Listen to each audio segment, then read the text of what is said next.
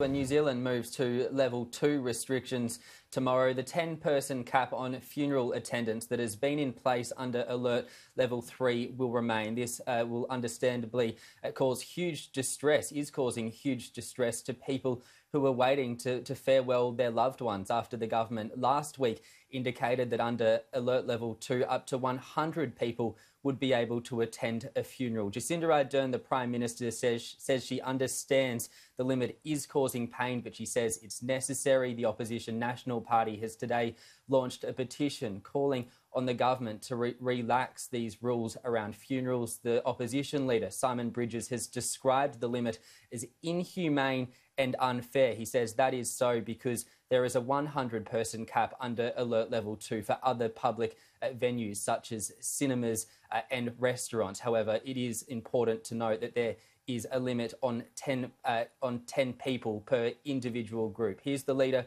of the opposition calling out uh, the 10 person cap for funerals.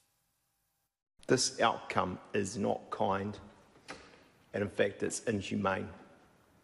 And I could read New Zealand some of the emails that I've received that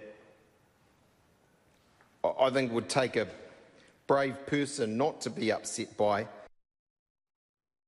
And Elise, Jacinda Ardern says in the current environment, funerals are just uh, too risky given the extremely strong desire mourners have to comfort one another.